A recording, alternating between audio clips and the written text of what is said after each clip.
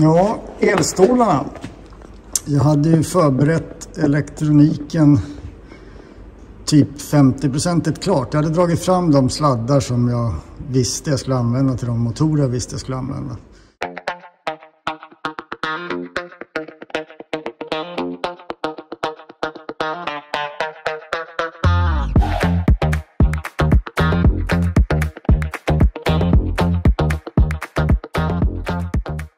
Sen hade jag en förhoppning om att matningen till dem skulle kunna gå ut via mittkonsolen och fram.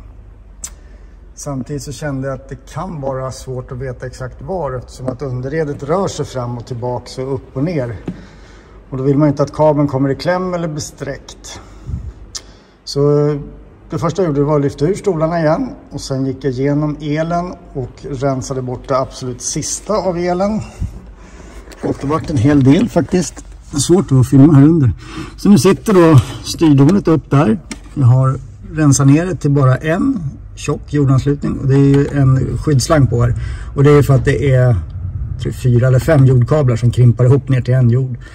Och sen har vi en, eh, samma sak med matningen. Det är flera plussar som går ihop som ligger i ett hölje, krimper ner till en plusmatning som sen går vidare framåt.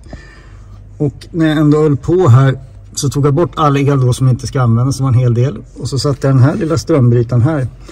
Och det är stolsvärme på uppåt och stolsvärme av neråt. Fördelen med att sätta den här, jag hittade en brytare som jag kan använda helt utan att köra via relä.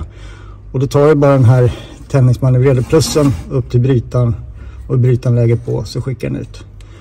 Och det funkar alldeles utmärkt. Och eh, jag provade på ungefär två minuter så känner man tydligt värmen i stolarna när de står löst om man inte ens sitter i dem. Utan då har värmen gått upp. Sen tydligt känns ytskiktet både på stolen och ryggen. Och lite klurigt att hitta vilka kablar det var men brun och blå tror jag var som gick till det i slutändan. Så där var det klart. Sen ville jag ju flytta den här knappsatsen för elstolsmanövreringen. Så då satte jag ett, svårt att se i mörker här.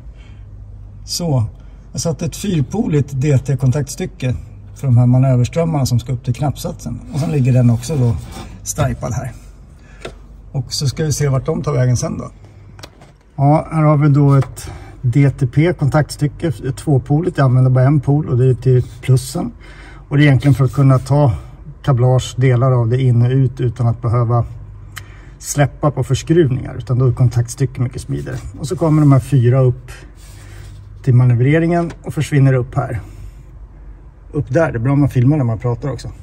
Där inne ligger ett fyrpoligt DT-kontaktstycke som sen går vidare längs med de här kablagen här ute. Här börjar det bli rätt mycket nu. Det är 4, 5, 6, 7, 8, 9, 10, 11, 12, 13, 14, 15, 16, 17, 18, 19 kablar totalt upp hit.